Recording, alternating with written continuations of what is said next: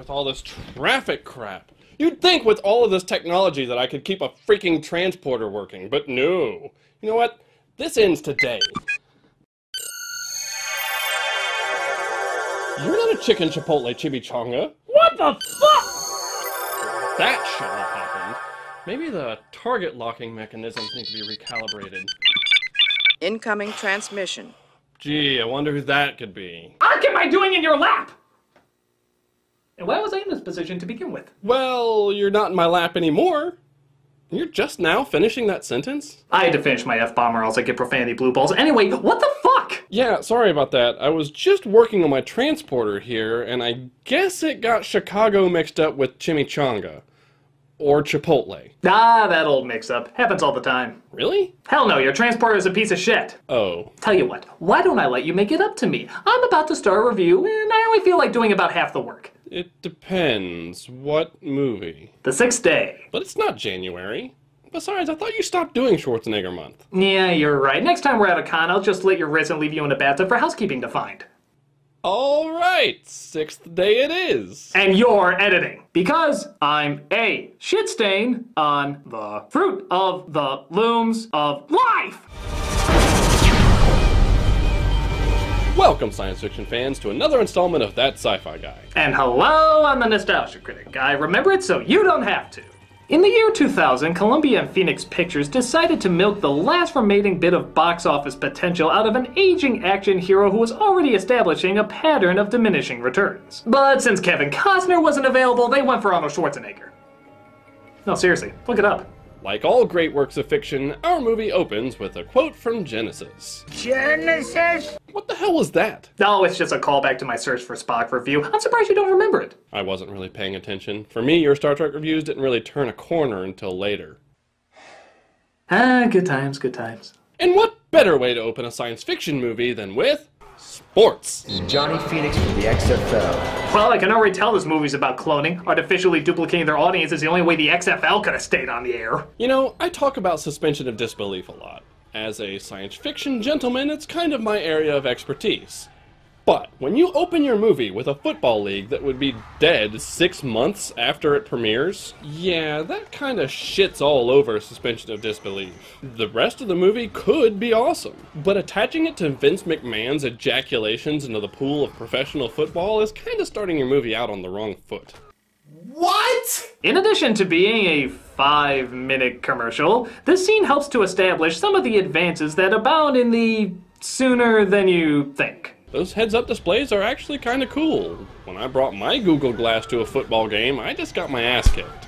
The star player, Johnny Phoenix, is brutally injured, His sixth cervical vertebra is crushed. It may not be as bad as you think it is. and for some reason they let Merle from The Walking Dead ride along in his ambulance entirely unsupervised. Yeah, because that guy is completely trustworthy. Sorry, Johnny. You're gonna have to take one for the team.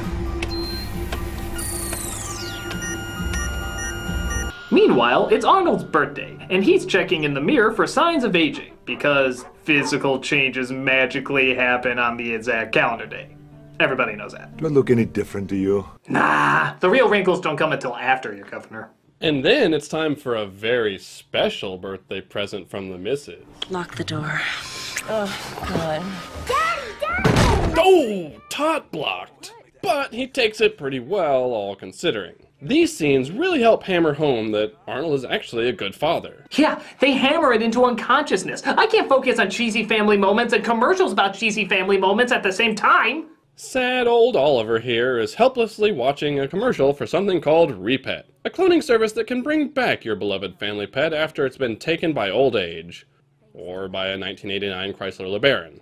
Wow, even the dog can see that this is foreshadowing. Nacho flavored or regular? I take banana flavored. Good choice. She was about to say, too bad this is Nacho Banana and hit you in the balls again. Can I have a sim pal for your birthday? What's a sim pal? A life size doll. A make believe friend. Whoa, that's creepy. Um, that might not be Bride of Chucky or anything, but that's at least one of his one night stands. I think we just found the villain of the movie.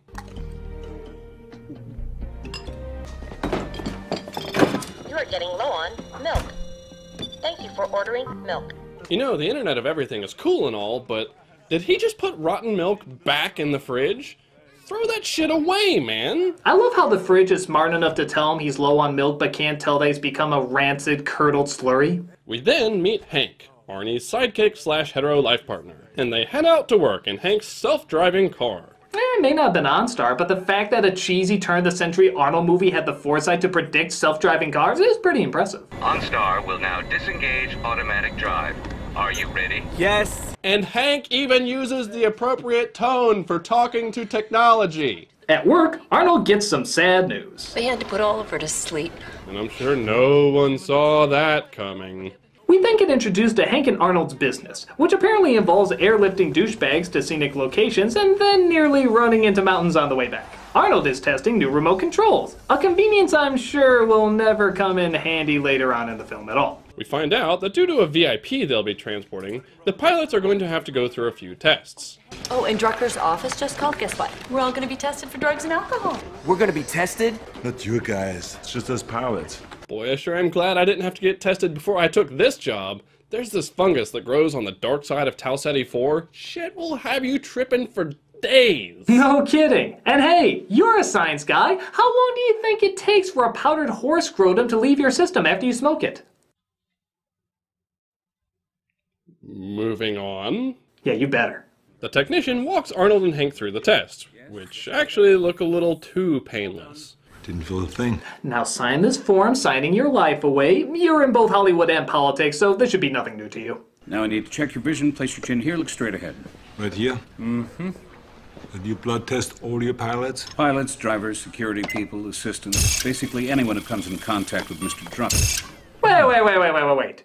So that futuristic cyborgy art that we've seen on all the posters is nothing more than him getting his vision tested? That would be like the Fast and the Furious movies advertising themselves with Vin Diesel at the DMV. Hank's a swell guy, and apparently a bit of a repet fanboy, so he offers to let Arnold go home while he pilots the VIP Mr. Drucker around. You know, I, I could take care of Drucker. That way you could have plenty of time to get Oliver clones. Um, they specifically asked for Adam. yeah, I know what specifically means. I also know that the bodyguards can't tell the difference. They never got our names. Oh. That's true. This, of course, goes flawlessly. Arnold then wakes up in a cab, a little confused and befuddled. I can't tell. Is he drugged or is this just weird 90s editing? To be honest, I'm just a little disappointed the cab isn't being driven by some form of Robert Picardo. Huh? How did I get in this taxi? The door opened. You got in. Arnold heads into Repet, where he strolls right past the God Bothers. Save your soul, man. God doesn't want you to go in there. Don't go in there, man. When the God shouldn't have killed my dog. Atheist. He hears the sales pitch for a few minutes. Your pet's DNA is extracted from a lock of fur or a drop of blood and then infused on a cellular level into the blank. In the final stage, using Repet's patented cerebral syncording process, all of your pet's thoughts, memories, and instincts are painlessly transplanted via the optic nerve. But then gets distracted by an even more ghastly scientific abomination. I might be back. You'll be back. So he buys one of these sins against nature and heads home. I can sing Go songs. to sleep, Cindy. Would you like to sing with me? Go to sleep.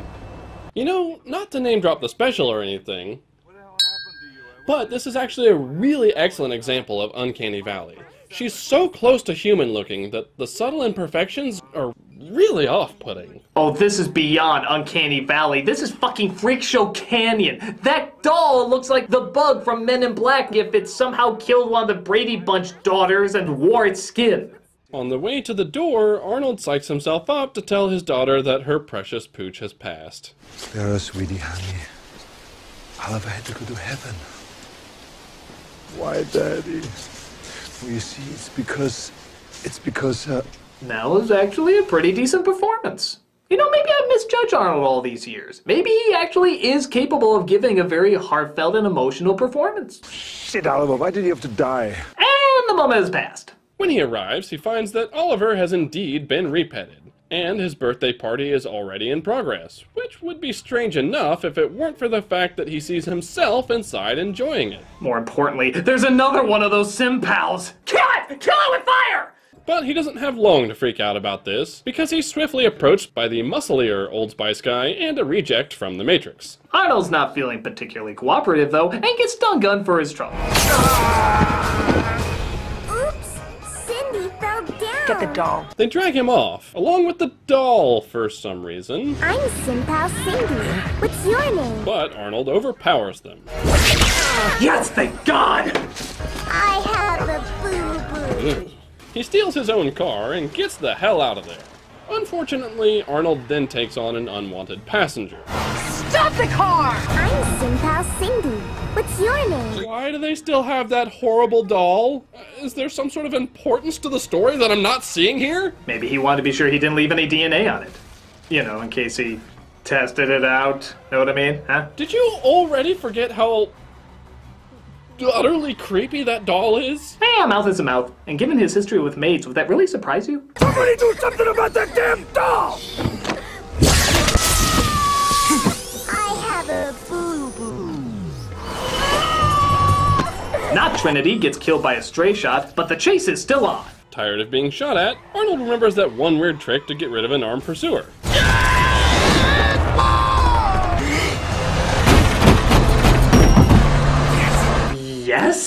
For a good guy, Arnold is a bit of a sadistic bastard here.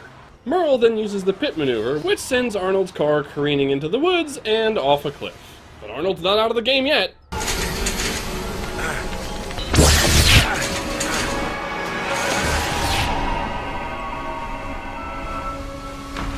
Okay, now he is. Please, he'll be fine. Arnold has gills.